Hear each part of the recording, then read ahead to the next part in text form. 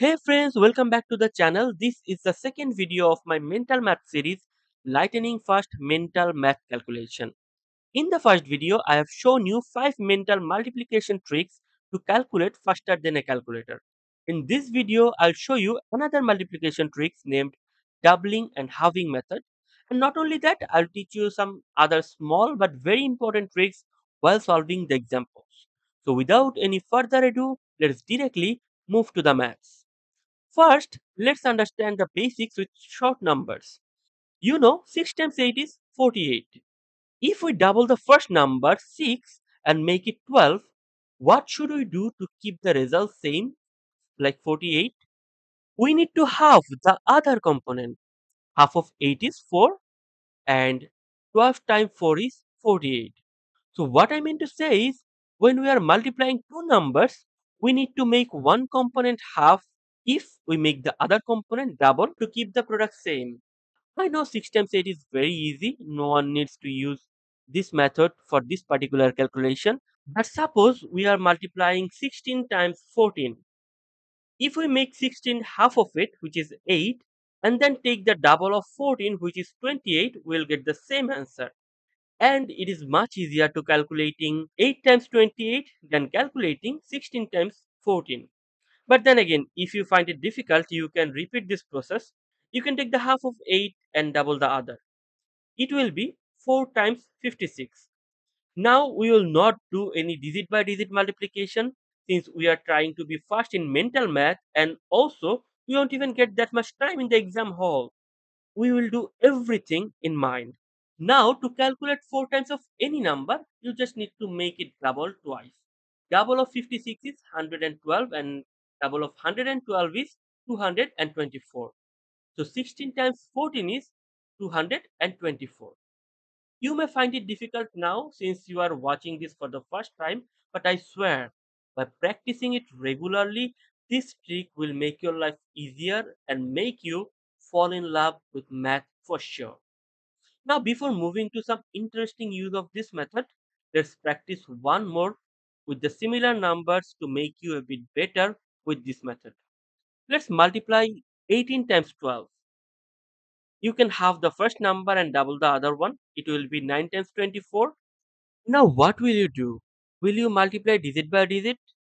No. You can easily do it by subtracting 24 from 240. Let me break it down for you. Multiplying any number with 10 is very easy. All you need to do is to put a 0 at the end. So 10 times of 24 is 240, right? Now you just need to subtract 24 from it since we are actually calculating 9 times of 24. So 240 minus 24 is 216. Don't do it digit by digit. Break it down for your mind. Make it 240 minus 20, which is 220, and 220 minus 4 is 216. Now, coming back to doubling and halving method, this method is very effective when one of the number is ending with 5. For example, 64 times 15. If you double the number carrying 5 at the end, the calculation will be super easy for you. So, take half of 64, which will be 32, and then make 15 double, which is 30. All you need to do is to find 3 times of 32 and then put a 0 at the end. Now don't multiply digit by digit, calculate it in your mind. 3 times of 30 is 90 and 3 times 2 is 6. So 3 times 32 will be 96. And let's add a 0 at the end. It will be 960, the product of 64 times 15.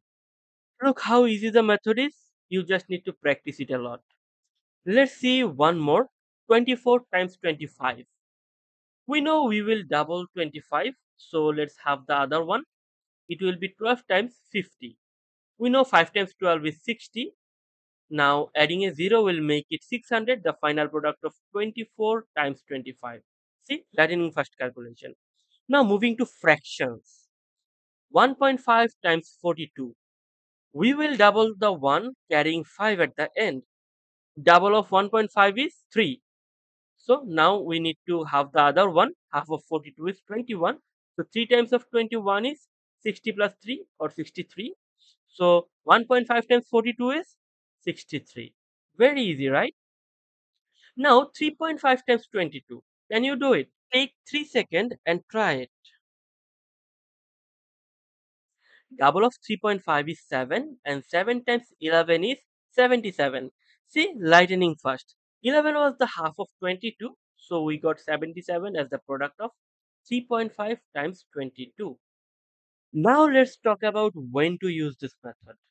You have already learned the basics of this method and you know how to do it. Will you use this all the time? No, not always. Our main goal is to make calculation faster. We will use different tools to encounter different types of math. For example, if you find a math 13 times 17, will you use this method? No, it may take some time because of the fraction calculation. Yes, this is solvable but time consuming. 6.5 times 34 or 26 times 8.5 can take time for you. It's easier for me because I know some other supporting tools which I will teach you in other videos. But for this one, we will use another method called split and merge which I will show you in the next video. Okay. You will find it in the cards or at the end screen once I publish it. So practice as much as you can and identify when to use this method and when not to.